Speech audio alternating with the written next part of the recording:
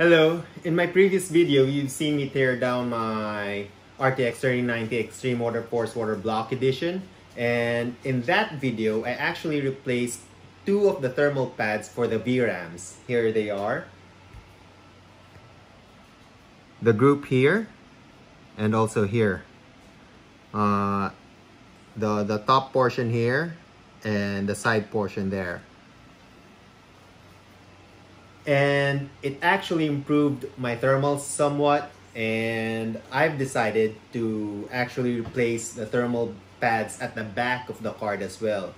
And uh, basing on the some of the reviews I've seen in the internet uh, it actually improved their thermals also.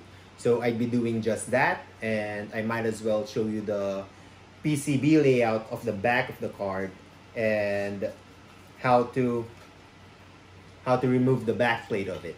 So I already tore it down again and as I've mentioned we just uh, focus on the back side of the PCB this time.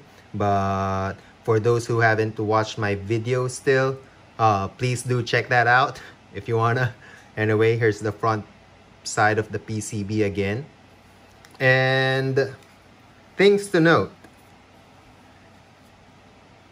The PCB the the back plate this back plate here is not actually connected to to the IO ports or the frame, the PCI uh, bracket. And all we have to do basically is to remove the screws holding the back plate and be careful of the RGB uh, lighting cable attached to the piece attached to the PCB. All right. Again, be mindful of where you put your screws. Uh, you don't want to mix match the screws here.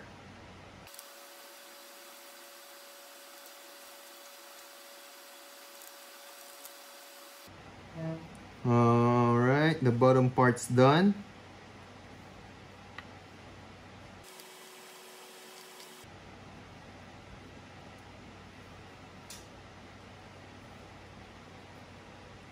All right. I guess that's it. Yeah. And the back plate's actually being held by thermal pads as well. So be careful with that one. We, we don't want to uh, rip the pads off. But in my case, I'd actually be replacing them. It's also not a bad it's also not a bad idea to have uh, spare pads there with you handy. And as for the thickness of the pads, uh, I'll give you that as soon as we tear this one off. Oh, and by the way, I have quite long fingernails. and uh, what you have to be careful on, you might scratch on the PCB with your nails, so be very careful. Again, uh, this is quite stiff again. But I can feel it being uh, separated.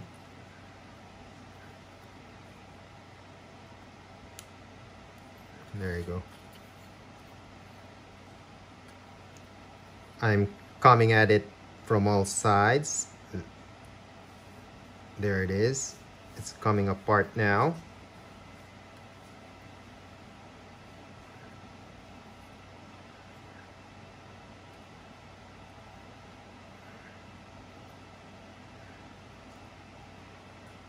Ah. Uh, I can see the thermal pads breaking up breaking again. Anyway.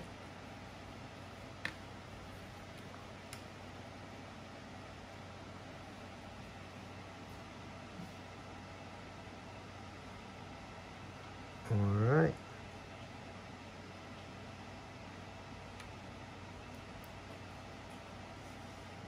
yep. The flex cable is indeed the flex cable is indeed there. So the pad wasn't here. Uh, it fell from uh, this part here. take this out. I don't actually mind if this cable rips off, breaking it. Uh, the light for the RGB for the back plate isn't really that bright to begin with, so you won't really notice much difference if it gets broken but I was able to detach it properly anyway. And all right. So that's that. And for this one here let me take this. I know I won't be using it after this but I still want to be careful. Huh. Oh all right. Uh, it's actually cooling uh, part of the uh, capacitors here for the back uh, what I find funny is uh, they decided to only cool the only cool these capacitors here and they kind of left these out. And I guess uh, they are the chosen ones or chosen four. Uh, it's because of the RGB because of the RGB lighting they can't actually put thermal pads on them so uh, I, I find that kind of unfair favoritism much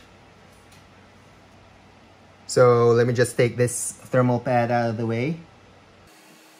They're actually thick.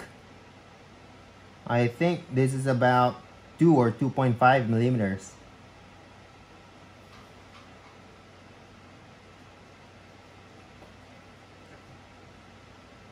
It's good uh, I, I didn't uh, rip I didn't rip any of them apart so if I don't have thermal pads thick enough for this plate, I could actually reuse them. So that's good.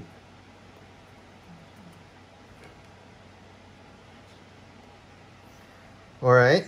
So first off, here's the PCB layout, the back part. Uh, basing on the plate, the die, the back side of the die isn't actually uh, cooled, which is pretty good because the VRAMs gets hotter than the GPU die. So if they actually attach this to the back plate, uh, it'll get unnecessarily hotter than, than it would uh, normally. And there you have it. Uh, just pause the video if you want to uh, see some more of it.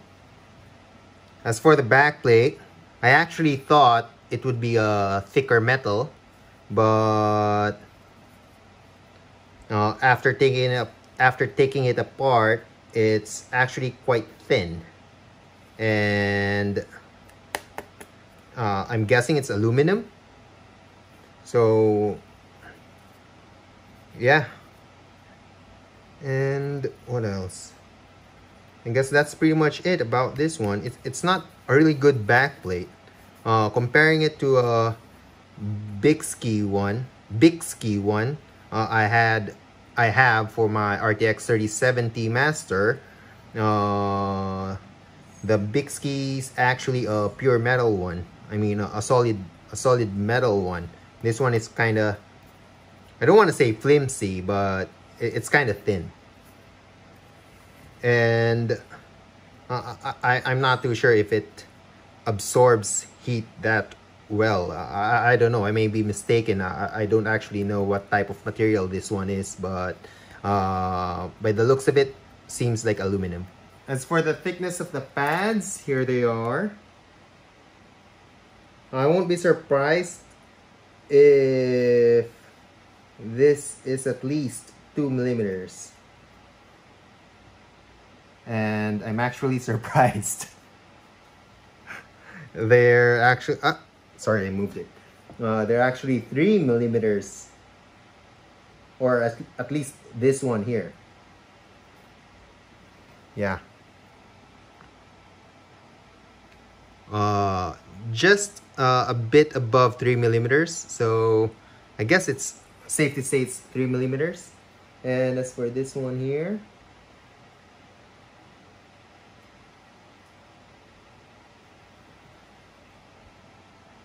3 millimeters as well. Here. Oh, they're actually pretty thick. 3 millimeters, yeah. And, well, bright side, at least they're all of the same thickness, right? And oh, too bad for me though. Uh, 3 millimeters for that one as well. So all of the thermal pads are actually 3 millimeters thick. I'm guessing this one's 3 millimeters as well. Oh. The, the, the screw, the, the slots for the screws are actually about 2.5 or just below 3 millimeters. So that makes sense that the, the pads are actually thicker, a bit thicker than the slots for the screws are. Uh, anyway, too bad for me and I'm really glad that I didn't tear any of the pads because the maximum uh, thermal pad I have here with me or the spare that I have is only 2 millimeters in thickness. So alright so that's good. And I did change the pads for the VRAMs for the front of the PCB already uh, so at least uh, some of the VRAMs are getting cooler. And as for modding ideas well me personally I just attach these heat sinks. I'll show them to you guys later on to the back plate and cool them with fan. Uh, and I only use gravity to to hold the heat sinks in place. The the thermal pads I'm using here are non-adhesive and as for the PCB maybe you could uh, buy a thinner thinner uh, heat sinks. The for reference the VRAM's width is about 1.4 centimeters. Take note it's in centimeters. 1.4 centimeters thick width for the VRAMs. Uh, maybe you could put in a 1 millimeter uh, pads on top of the VRAMs as to not interfere with the capacitors here. 1 millimeter 1 millimeter put a heatsink on top of it and maybe this way here. Maybe like that. And drill a hole into the heatsink mount it onto the PCB with a back plate in front to hold it in place right? And as for these two here maybe apply a, a thermal pads that's adhesive that has adhesive in them and just attach the heatsink on them. And well or you could even just mount a copper plate on it and use the drill holes or the screw holes as reference. So uh, it'll depend entirely on you. So uh, if you guys do make mods like that do share them to me email them to me at, at christechrants at gmail.com. I'd be more than glad to share them and upload them in my videos. Um, what else? So I guess that's it. I'll just clean this uh, or put this card back together real quick. Alright, so let me show the heat sinks or the temporary solution I made to, to reduce the VRAM temps. Uh, oh, oh, kudos to the shop I bought this from. uh, they they were actually uh, able to replace it, even though the you know how supply and demand is right now. They're able to provide one for me. Not that fast though. Took a while, but still, uh, I'm grateful for that. Anyway, uh, here's the back plate. Mm, what I do is I will actually change the pads. The, the pads I'm using right now are 0.5 millimeter. I'd be changing them to this one. I don't want to use a really good thermal pad and waste them uh, just for uh, these, uh, just for this. Uh, reason being is, uh, as you guys may know, uh, I mentioned in my previous video that I'd be buying an active backplate for this card here. So I don't want to waste any more pads for this one. Going back uh, I just attached them here like this. Uh, there's not much point in putting heatsink here. Uh, as you guys uh, saw uh, there's no metal here or uh, it won't make much sense that's all I'm saying. So I attach them here like this another one here maybe add two more here or one more here in this side here and I mount fans on them like that.